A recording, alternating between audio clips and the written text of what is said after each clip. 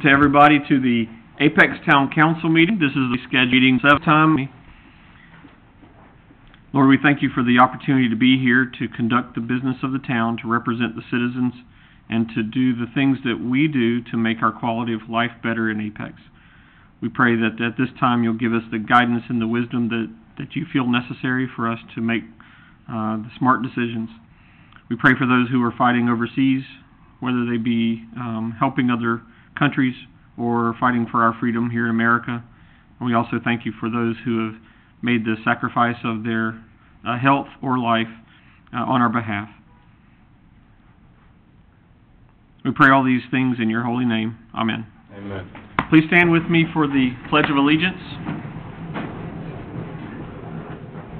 I pledge allegiance to the flag of the United States of America and to the republic for which it stands, one nation, under God, indivisible, with liberty and justice for all.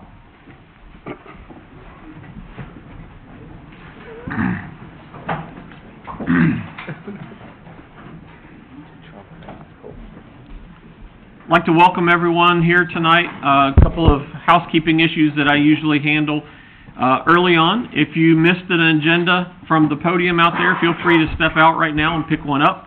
Uh, there's also yellow sheet for public speaking guideline policy.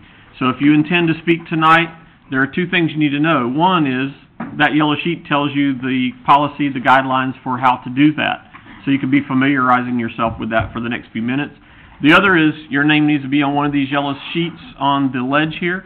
So if you have not signed up for the thing that you intend to speak, and they're numbered, so make sure you sign up for the correct one, come do that now and go get your sheet out there.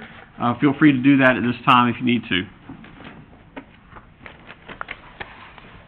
Uh, with that, I'd like to uh, begin our presentations and uh, to introduce our speaker for the first presentation here, we have our Finance Director, Vance Holloman.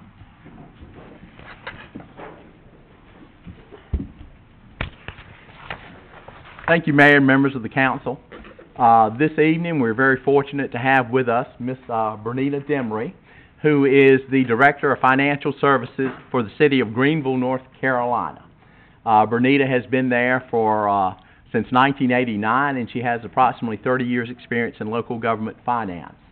Uh, she is a CPA, has her uh, master's in business administration from East Carolina University, and uh, tonight she is here in her capacity as a state representative of the Governmental Finance Officers Association.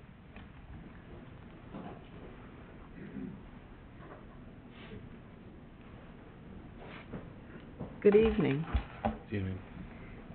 It is an honor to be before you tonight to present on behalf of the Government Finance Officers Association of the United States and Canada the Certificate of Achievement for Excellence in Financial Reporting. The Government Finance Officers Association established the Certificate of Achievement for Excellence in Financial Reporting in 1945 to encourage and assist state and local governments to go beyond the minimum requirements to present comprehensive financial reports with 10 years of statistical data that ensures that readers have reliable information for decision making. And where would more decisions be made about the town of Apex than right here?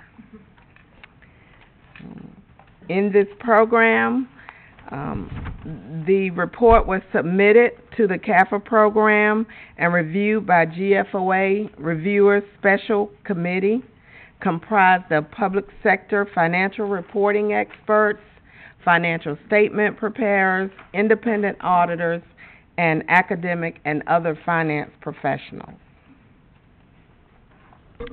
The government that participates in the Certificate of Achievement are asked to submit their reports within six months of fiscal year end and undergo this extensive GFOA review process.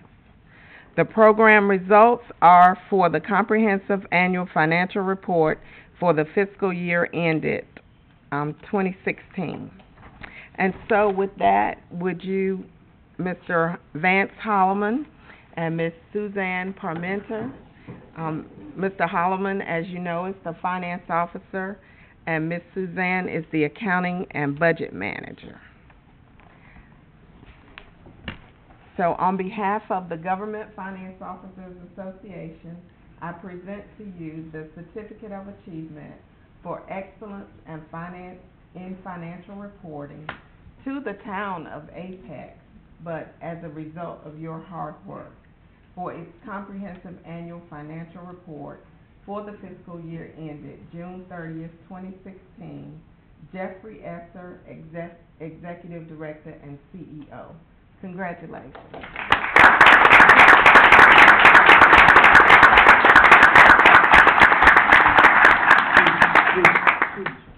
Well, if I could maybe just make some brief remarks. Sure. Uh, I want to, uh, first thank the council and management for their support for us in these efforts, would not be possible without that. Uh, Suzanne just does, uh, I'm just up here, and around, Suzanne does just, uh, so much work on this, and does such a great job, and, uh, makes it possible, wouldn't be possible without her and her effort. And, uh, town staff throughout every department, really, it's not just the finance department, but every department contributes to the audit and to the, uh, comprehensive annual financial reports. Uh, it's really a town-wide effort, and just, uh, just wanna thank everyone for, for their work. Thank you. All right.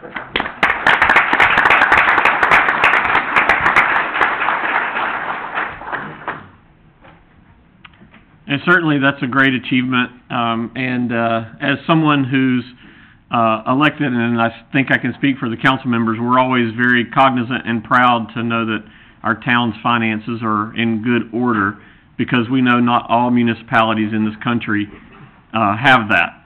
So, thank you very much.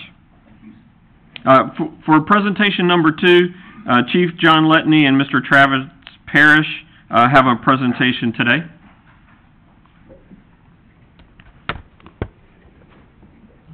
Thank you, Mr. Mayor. Good evening, uh, Mayor, Council, Mr. Manager, staff, citizens. We're here before you tonight to accept our second accreditation award from the Commission on Accreditation for Law Enforcement Agencies. We began this journey many years ago when then Chief Jack Lewis had the vision to prepare the department to be accredited. We underwent our first assessment and earned our initial accreditation in 2014. Since then, we've maintained compliance with the standards and were assessed earlier this year. I'd like to introduce uh, our CALEA representative, the Director of Client Services, Travis Parrish. As Director, Mr. Parrish's primary responsibility is to ensure positive client engagement and, and the accreditation success for the CALEA program. Working with seven regional program managers, Mr. Parrish and the RPM team educate agencies on the value of CALEA accreditation, while also working with CALEA client agencies to achieve and maintain their CALEA accredited status. Travis is a longstanding member of the International Association of Chiefs of Police, where he serves as a member of the Community Policing Committee and is a veteran of the United States Marine Corps. Mr. Parrish. Thank you, Chief. Mayor, council members, Apex residents and guests. On behalf of the Commission on Accreditation for Law Enforcement Agencies, the Commission Chair, Richard Myers, and Executive Director, Mr. Craig Hartley, CALEA is honored to be here recognizing your protectors of the peak. To provide a little background, CALEA was created in 1979 when the founding organizations, the International Association of Chiefs of Police, the National Association of Black Law Enforcement Executives, the National Sheriff's Associ- Association, and the Police Executive Research Forum, recognized the need within the law enforcement community to develop professional standards to enhance the delivery of police services to citizens throughout the community they serve. Since its inception, CALEA has accredited agencies under standards developed by many of the top public safety practitioners and leaders of our time. The standards are reviewed continuously to ensure, to ensure each is current and remains relevant. These standards cover a wide range of administrative, operational, and logistical issues and serve as a modern management model that provides the framework for recognizing professional excellence within public safety. In a time when public safety is being scrutinized, the Apex community leaders and citizens should take comfort in the fact that its police department has voluntarily committed to operating at a higher level and under a set of nearly 500 rigorous standards. The goals of CALEA are to strengthen crime prevention and con- control capabilities, formalize essential management procedures, establish fair and non-discriminatory personnel practices, improve service delivery, solidify interagency cooperation and coordination, and increase community and staff confidence in the agency. Based on the goals and mission statement of CALEA, I can think of no better time or place to present this accreditation certificate to the agency than at a public meeting, where all can share and recognize the hard work this agency has committed to remaining accredited. The certificate itself is simply a matted piece of paper within a frame, but it has much broader symbolic meaning. The certificate clearly represents the agency's efforts to achieve accredited status, thereby demonstrating its willingness to change in order to effectively address contemporary public safety concerns. It represents a commitment to doing the right thing and doing it the right way. Lastly, it represents an ongoing dedication to ensuring the agency's resources are appropriately developed, effectively deployed, and constantly managed, all in the name of a safer community for workers, visitors, and customers. In March of this year, CALEA assessors visited the Apex Police Department and reviewed the agency's applicable files, activities, functional impacts, and management strategies. During the agency's open comment period, several peer agencies and community leaders submitted extremely positive comments regarding the agency's professionalism and exceptional leadership. I'd like to share some words from the assessor's final report. The Apex Police Department is providing a high level of service to the community it serves. This excellence was reflected not just through file review, but through the actions of the agency, personnel, and the support of the citizens. The agency has achieved widespread support for the CALEA process demonstrated by the cooperativeness of all staff members and personnel of the agency with the assessment team. All interactions with agency employees were positive, and the assessment team found the agent, agency to be professional in all respects in the performance of their duties. At the commission meeting held in Providence, Rhode Island, July 29, 2017, CALEA commissioners reviewed the assessor's report, concurred with their findings, and unanimously voted to reaccredit Apex Police Department. At this time, sir, I'd like to present the, uh, the certificate to Chief Letney.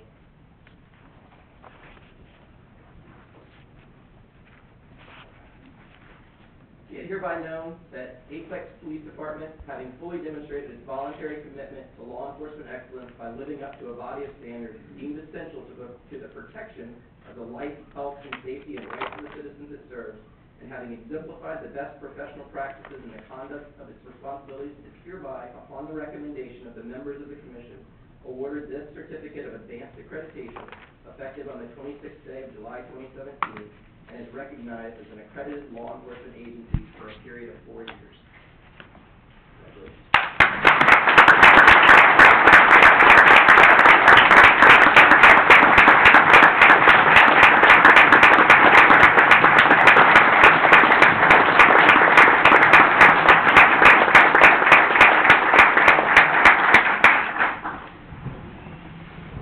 Thank you, Mr. Parrish, and uh, also please pass along my thanks to the CALEA staff who continue to assist us in this process. Since our assessment, we believe the accreditation process could be used as a management tool to provide a proven system for achieving a level of efficiency that can be measured, assessed, and maintained. During our first period of accreditation, we found it to be just that. It has become a blueprint to ensure that the Apex Police Department is at the forefront of the best practices in our profession, that we achieve the level of professionalism and service delivery we're capable of, and maintain that level as the needs of our rapidly growing community change. We are proud to be able to provide assurance to our community that the Apex Police Department meets and in many cases exceeds the professional standards of law enforcement. And we're honored to be among the few accredited agencies in North Carolina, 54 to be exact, which is roughly 6% of the total law enforcement agencies. The achievement takes a great deal of work to develop policies and procedures and ensure that we show we're in compliance with all applicable standards. While it is the accomplishment of all department employees, as well as other town departments and our significant partners such as CAPA, Sergeant Matt Kutcher, our accreditation manager, was responsible to spearhead those efforts. I would like to thank him for his efforts and present this certificate of achievement from CALEA to Sergeant Kutcher.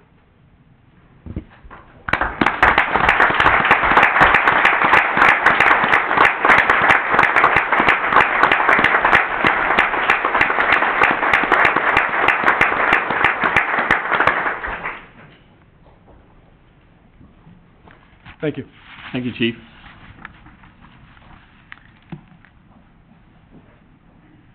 At this time, we move into the consent agenda. Consent agenda are items that are considered to be routine. Uh, they're typically enacted by a single motion. Uh, any council member, if they so choose, can pull something for a later discussion, but they're typically considered to be non-controversial items and a matter of course. At this time, I'll ask the council if there's an item that they would like to pull for a later discussion, or if there is a motion to approve the consent agenda. Motion to approve. I'll second. All right, motion and the second to approve. Any further discussion on that motion? All in favor indicate by saying aye. Aye. All opposed say no. Okay, that passes unanimously. Uh, this is the time where we set the regular meeting agenda. Um, at this time, I'd like to, uh, point out the only thing I'm aware of, which is that public hearing number two has been withdrawn by the, uh, original requester.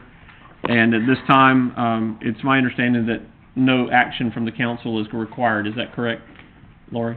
Okay. So public hearing number two will not happen tonight. Um, other than that, let me just ask the council, uh, if there are any other items that need to be shifted, or if I could have a motion to approve the agenda with that one change. Um, I would like to add something to old business, please. Um, the, I would like to add, um, an update on the Tunstall House Task Force. Is there any objection?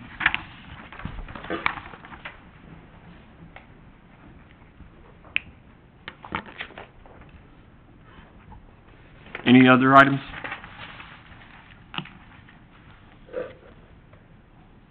Is there a motion? Can I make the motion? We approve? All right, with the, with the two items? Yes. All right, any discussion on that? All in favor indicate by saying aye. Aye. All opposed say no. All right, the meeting agenda is set. We now move into public hearing number one. Uh, this time, the town clerk is collecting the, uh, yellow sheets. Uh, so hopefully if you intended to speak on an item, you've signed up. Uh, public hearing number one, this is a possible motion for Horton Park, number CZ, seventeen CZ nineteen, and Amanda Bunce is presenting.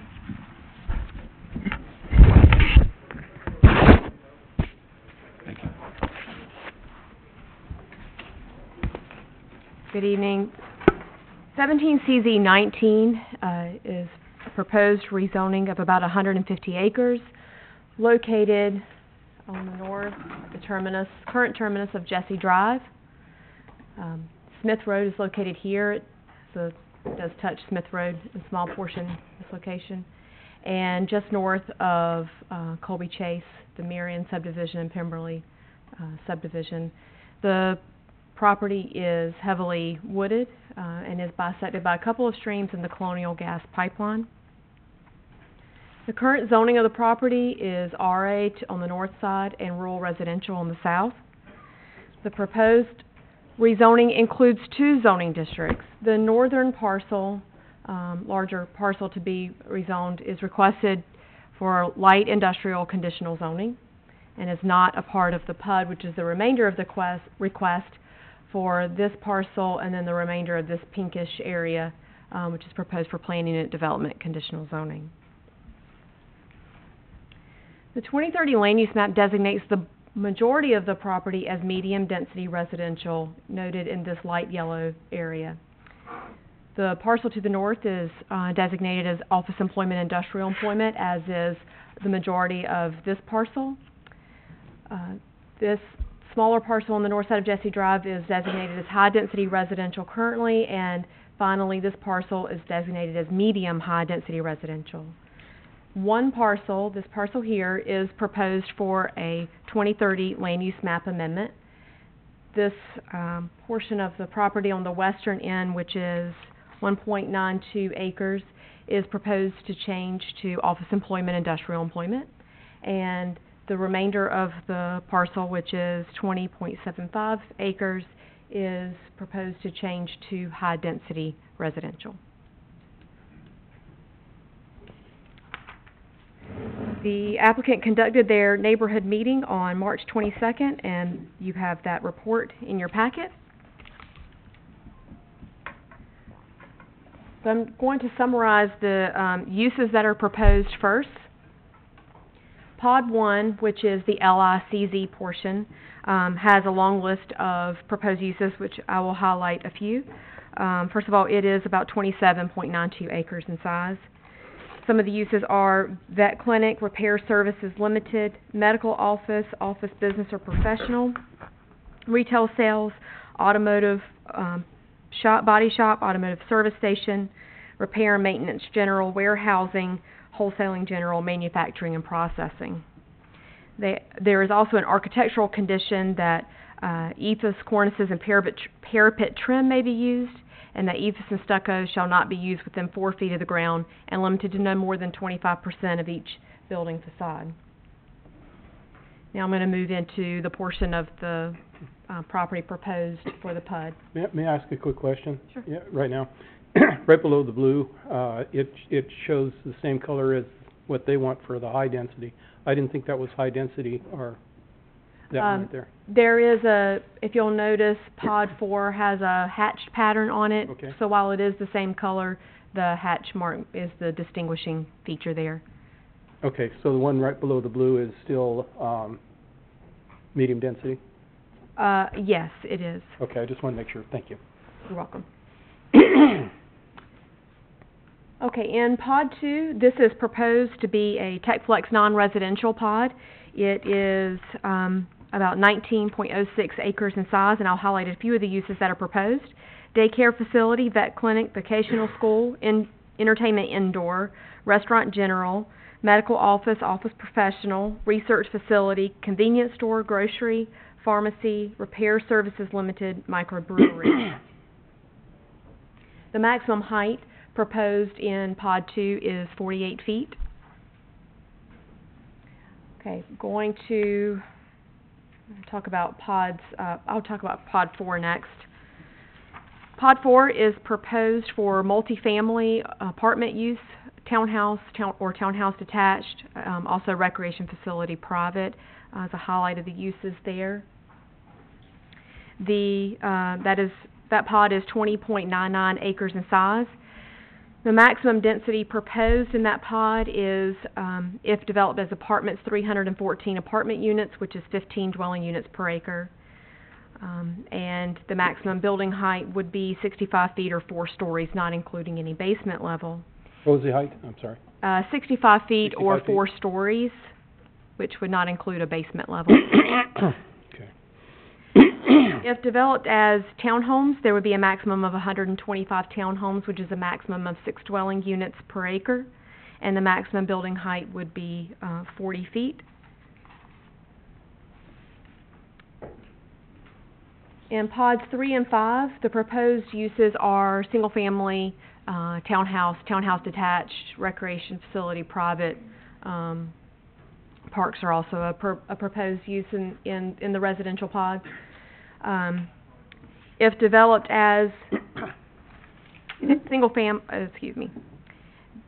Through all the pods, if developed as townhomes, the maximum density is six dwelling units an acre. If developed as single family, the maximum single family density is four dwelling units per acre. So in pod three, which is about four and a half acres in size, the maximum would be twenty-seven townhomes or eighteen single-family homes. In pod five, the maximum would be hundred and eighteen townhomes or seventy-eight single-family homes. Um, For townhomes, there are two types of townhomes that are proposed, a type one and a type two, which is permitted, proposed in, uh, pods three, four, and five, and those are front-loaded and rear-loaded, uh, townhomes. Is there any, re- is there any requirement for either one? There is not a requirement for either one, um, for, for the townhomes, it's an option. Okay, thank you. For single family, there are four types of single family, um, products that are proposed. And those, basically, the main difference is the lot width, minimum lot width, which the four types are seventy foot, sixty foot, 50 foot and 40 foot wide product. Within, um, there is a limitation for the 40 foot wide product known as Type S4 that any front entry units may have a one car garage or no garage for each unit. Uh, rear entry units may have um, a two car garage for each unit. Is there a limitation on how many no car garages units they can have?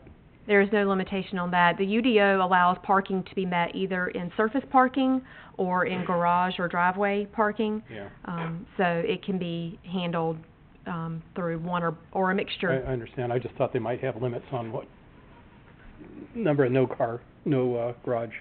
No, they, Okay. there's no maximum Okay. set. In pods six, seven, and eight, these are all designated as single-family, um, pods.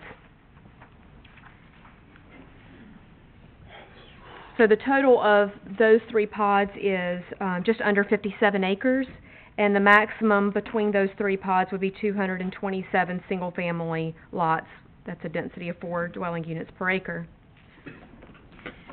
In pod eight, which is at the southern end of the, uh, development, there is a limitation that the S four, the smallest lot product, would not be permitted within that, that, um, pod. Within pods six and seven, the S four, uh, or forty-foot wide product would only be permitted along the collector streets.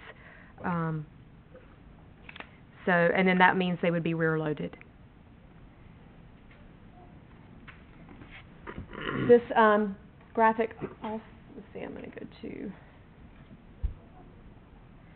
this chart, which highlights the buffers. For the most part, the buffers are the same as what's required by the UDO. There are instances where a greater buffer than what is required by the UDO is proposed. And then I've noticed if there's, um, a difference, I've noticed that in italics underneath the proposed buffer type. This is on page seven of your staff report. You can probably see it better than, than on the screen. Um, and there are six areas where the buffer type is, has proposed to be reduced, and primarily that is the parcels that are adjacent to the closed Sorrel landfill. And so generally speaking, that buffer is about half of what's proposed, which is permitted by the, the UDO. Um, and then along this western boundary of pod two, uh, the, uh, required buffer type isn't known until the uses are developed. And so based on the intensity of the uses that actually develop there, and so, um, that's noted, it's either the same or about half of what's required by the UDO, and again, that just depends.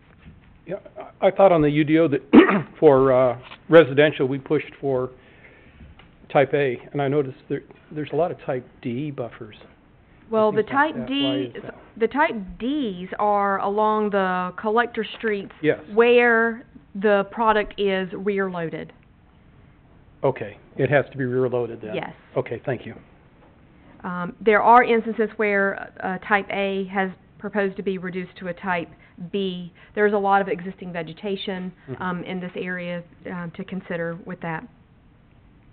Uh, generally speaking, along the, the streets, we have the type, ten-foot type A buffer, uh, but there is a note that where there is a rear-loaded product, it can, the opacity can be reduced to a, a ten-foot buffer. And then there is a twenty-foot type B buffer along the southern boundary of this east-west collector street that increases to thirty feet in this section along the Beck property. Okay.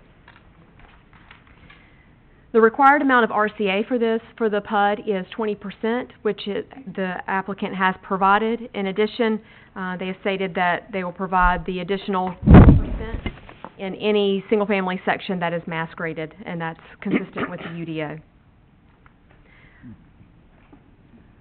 Just to review the, um, some of these, this is a highlight of the single-family elevations that are proposed. And generally speaking, the elevations are con- the architectural standards are consistent with, um, our standard conditions requiring a raised foundation of twenty inches. The garage cannot protrude more than one foot out from the front facade or front porch. Eaves shall project at least twelve inches from the wall of the structure, requiring a varied color palette, and requiring front porches be a minimum of six feet deep. For townhomes, again, a lot of our typical, um, architectural standards that we see, having a raised foundation of at least twelve inches. Roof line cannot be a single mass, it must be broken up horizontally or vertically between units. The garage cannot protrude more than one foot out from the front facade, a varied color palette, and side entry end unit townhomes in highly visible locations shall provide a covered entry feature for each unit. So in the case of the, this elevation where this is a side entry unit, there will have to be a, um, covered entry feature added to the side, um.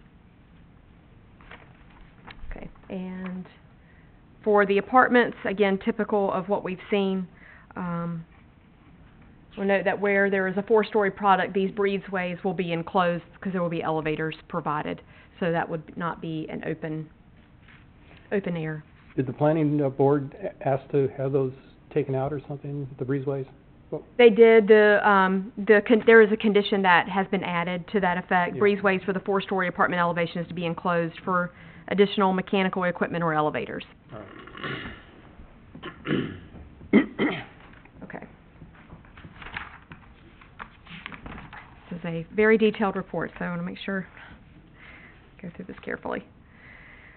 The Parks, Recreation, and Cultural Resources Advisory Commission met, um, on August thirtieth for this project, and, um, they did recommend a, uh, fee in lieu. However, I want to go back to a map just to illustrate this.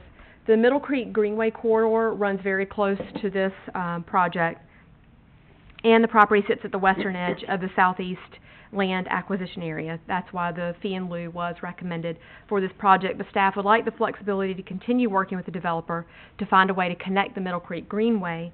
In the event that a solution can be reached, the developer, um, would construct that and, um, receive credit against fees owed. Our bond is supposed to, that's one of the things on the bond, right, is the Middle Creek Greenway? I believe it is, yes. So, So if there was a portion of the proj- greenway that could be constructed as part of their development, then they would receive credit for, against the fees owed. Uh, so water, of course, will be extended to this, um, from multiple directions. For sewer, the developer will have to construct a pump station. It will be the Middle Creek North Pump Station, located generally in this location, uh, on the north side of Colby Chase. This pump station will be fully funded by the development team and then reimbursed through separate developers' agreements. How, how many gallons per day is this development going to use? Do you have any idea? I do not have the answer to that question, the engineer may. Okay.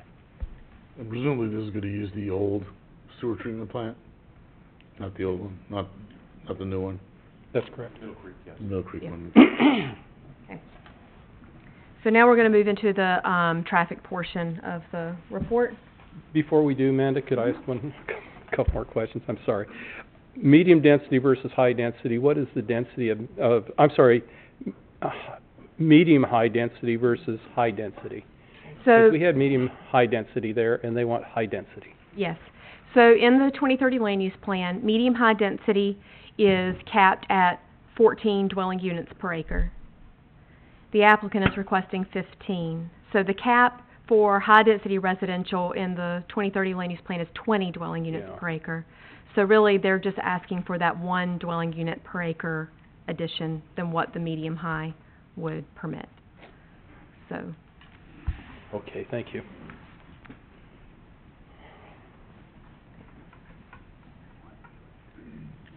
Okay, I'm gonna summarize, um, staff had, uh, several, uh, traffic capacity zoning conditions recommended for the PUD. The applicant has added all of those conditions to their PUD document, and I'm gonna highlight these. There are a lot of road improvements, um, off-site, um, that are required, so I'm gonna just go through these very quickly. Um, there will be studying, um, traffic signal timing modifications if necessary at the uh, US one uh, Center Street Waterford Green Drive area. Um, constructing turn lanes. Um, I'm gonna go back. Sorry, I think using a map would be. Oh, that doesn't show it. Um, constructing uh, turn lanes at uh, US one ramps. Um, providing an additional through lane and uh, merge length at 1010 and Reliance. Uh, at 1010 and Jesse, there would be turn lanes basically at every part of that existing intersection. and monitoring that intersection for a traffic signal. To highlight some of the other improvements, the developer will be constructing, um, this east-west major collector street, um, generally in the location of where DeZola connects to Smith Road now. Um, this north-south, uh, major collector is another road that the developer will be constructing. Um, the Jesse Drive right-of-way, um, additional right-of-way width will be dedicated and road improvements, uh, made along Jesse Drive. Um, at East William Street and Straywhite, which is off this map actually, down at Miramont, that intersection will be monitored for a traffic signal if warranted. And then the developer shall construct the connection of Colby Chase Drive from the Pemberley subdivision to the Marion subdivision and connect the north-south collector street to Colby Chase. The phasing in the PUD, um, the, in the PUD document, it specifies eight pods, which there are, as you see on this map, but it also specifies they could be developed in any order depending upon market conditions. Road improvements will be, will factor into that phasing as well. The PUD also pro- provides two options for residential development restrictions. That. So essentially, this is a phasing. There's a major concern about the impact on the roadways, the timing of the 1010 road improvements. As you know, the state has a TIP project to widen 1010 road, um, but the start of that project is not until 2023, which was in the TIA the anticipated build-out date for this development. So there was concern among staff and others uh, that this project could potentially be built out before that road project even began. So the developer has agreed to a phasing um, uh, series of development restrictions based on phasing of road improvements. So the first phase would be no more than two hundred lots shall be platted for single-family and townhomes or permits for apartment units or any combination thereof prior to the completion of the off-site road improvements identified within the traffic study and noted in section twelve of the PUD text. This also includes the construction of the north-south collector from Jesse Drive to Colby Chase Drive, the Chol- Colby Chase connection from Marion to Pemberley, and the portion of the east-west major collector from the north-south collector to the access for the DeZola Street properties. So it's two hundred units, um, at the point that all of those road improvements are done. The next phase is that no more than one hundred additional residential lots or apartment units can be constructed prior to the completion of additional through lanes associated with the ten-ten widening project. So essentially, three hundred units until the ten-ten project is completed. And then phase three, all remaining residential lots shall not be platted for single-family or townhomes or apartment units until the Jesse Drive extension from Highway fifty-five to ten-ten road has been let for construction. So option two is if Jesse Drive from Highway fifty-five to ten-ten road is a two-lane roadway is completed, then all lots and units within Horton Park would be released for development. Um, none of these, um, development restrictions apply to the non-residential portion of the PUD. So option two doesn't matter on ten-ten road, only Jesse Drive. Right, because then people will have, um, full opportunity to get to fifty-five, which then they could get onto US one. If they're using ten-ten to get to US one, they would be able to use Jesse Drive to get to US one as well. Um, and also get to, to fifty-five. So that's a, that's a significant connection, um, that needs to be made. I I have a question, I think it's probably maybe for our town manager or for construction management. Once the contract is let for Jesse Drive extension to fifty-five, mm-hmm. then these houses can be built. The question I have is, how long does it take to, would it take to construct Jesse Drive across that wetland versus how long, I mean, they can get their houses up in three months. If it takes a year or better to get that Jesse Drive in, then there's nine months of chaos. That's one of my concerns. Yeah. Mr. Dalton advised about, about a year for construction. So It would take about a Wouldn't year. let it until, the you know, all the property acquisition, design is done, but it'll take about a year to construct that. Thank you. So we would not release the, um, the plats, which means they would not be able to get building permits for those until the, um, they wouldn't be able to start, begi- begin to construct those until the contract was let. The road was let. I for understand. construction. The concern I have is that you can build a house a whole lot faster than you can build a road. So there's a timing situation there that maybe needs to be adjusted so that it's half-built or something like that, so that everything comes together at the same time. That's, that's a concern. Thank you. So, um, in conclusion, um, planning staff is recommending approval of the proposed twenty thirty land use map amendment on fifty-one oh one Jesse Drive from medium-high density residential to high-density residential and office employment, industrial employment. And, in- and also recommending approval of the proposed rezoning to LICZ and PUDCZ as proposed by the applicant. The planning board at, at their October 9th meeting, um, did recommend approval by a vote of six to one, um, with the conditions as offered by the applicant, including an added condition to correct the buffers to meet, um, the section referenced, um, here in the report of the UDO, and those corrections were, uh, made, which actually resulted in an increase in buffer width in certain locations.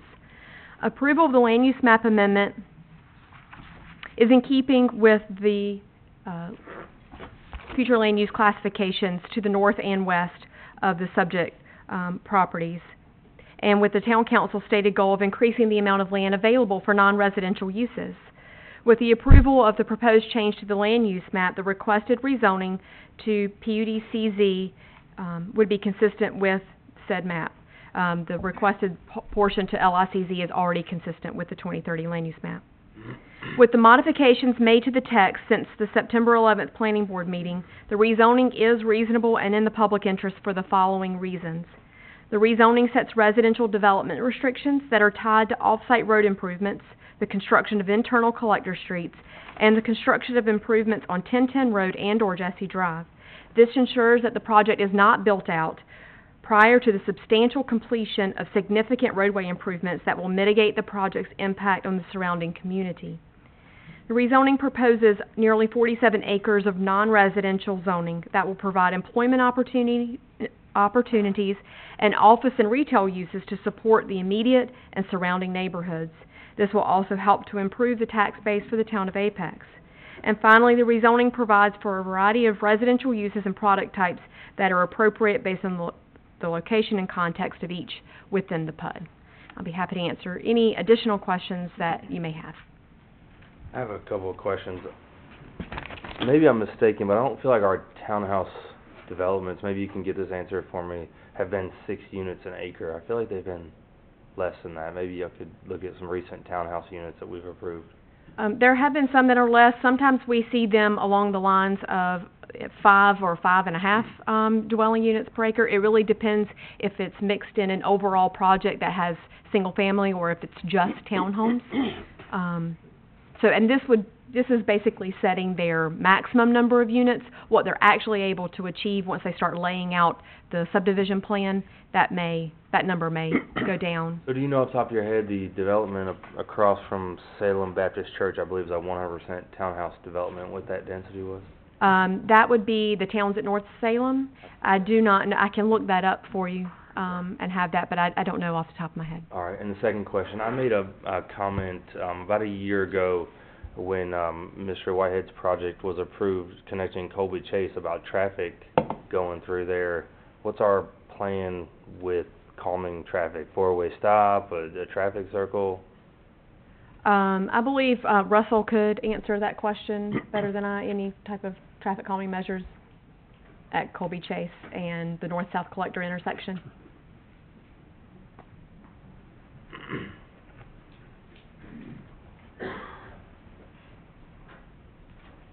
From what I understand in the subdivision plan review, uh, they've proposed a traffic circle, a mini circle.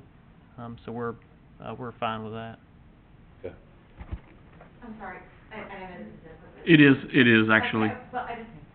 Go ahead. Any other questions on that, or?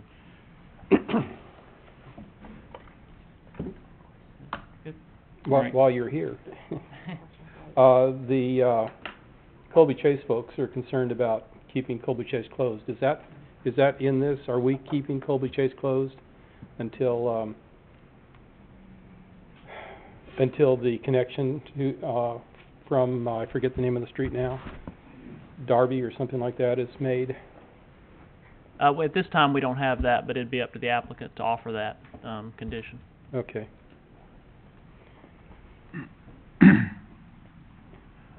Okay, I, I have, I have another, I, I'll be glad to wait if you guys wanna. I, I have at least, uh, one more, maybe being as you're a traffic, uh, engineer slash planner. Um, the pod, pod one, the purple. I'm, I'm concerned personally that this really isn't in the plan unit development. I've seen this before. The developer doesn't have a lot of control. Yeah, they rezone it to what it should be rezoned to, but then nothing happens. Uh, the, but the one concern I have here is, we have a stub from, uh, Pinnacle Park coming down almost due north of this point.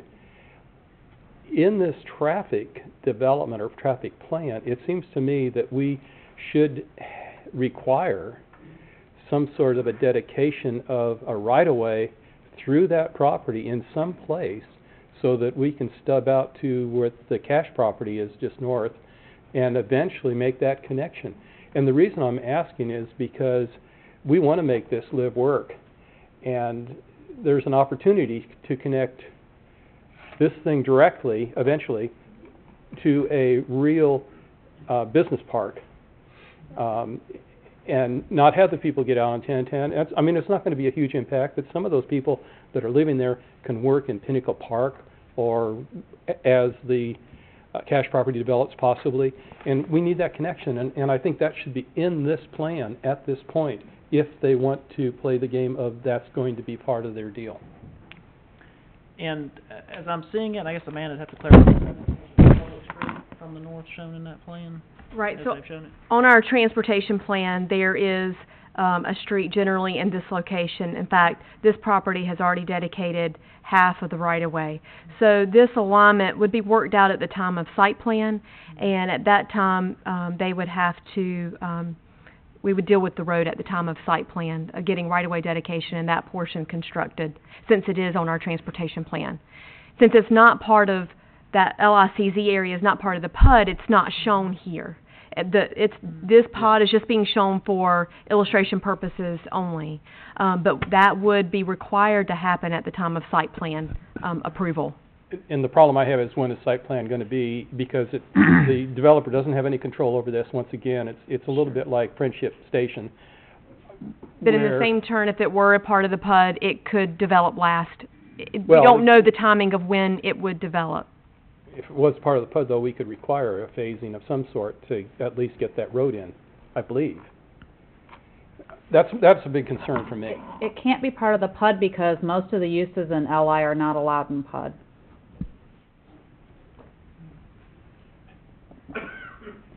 Okay, that's fine, but how do, how do we ensure that we get roadway connectivity al- ready as this thing develop, builds out? I, I'm really troubled by that. Okay. Any other questions for staff? I do have a question for Amanda. The lo- the lone vote against this on the planning board, to give reasons? Um, I don't know. I can answer that. It was Mr. Mead, and he was mainly concerned about the timing of road construction, um, both for the time of construction, when vehicles would be coming through the neighborhood. Um, the several neighborhoods, actually, it would be coming through Pemberley, Miramont, and Marion, and he was concerned about that, uh, particularly the county streets being impacted, since we don't have any control to maintain or, um, fix them if something happened. Um, and he was also concerned, um, about just the timing of which roads would be done when, and mainly concerned, he is the ETJ representative and mainly concerned about, um, the ETJ neighbors. Yes. Thank you. Any other questions for staff? What, is there any other gain on going to high density other than the extra one unit per acre? Uh, that's it. That, that is it, okay. And the other question I do have is, um, pod two is limited to forty-eight feet, which is non-residential, while the apartments will, co- can go to sixty-five feet. Um, what's to, why is the reasoning not to allow up to sixty-five feet so they can have a taller office? Forty-eight feet is what the applicant, um, Asked for. proposed. That's a, potentially a Okay. four-story, I'll um, talk to the office applicant. building. Okay, thank you. And to confirm, pod four, high density is, in our zoning, in our UDO is fourteen units an acre, they asked for fifteen? Uh, c- the current twenty thirty land use map designation has pod four as medium-high density residential, which is up to fourteen. They have requested that change to high density so that they could request fifteen dwelling units an acre. And I do have the answer on the Towns at North Salem townhome development was approved at five point seven nine units per acre. And that's actually what they're, con- that was approved on the PUD, but it's also what they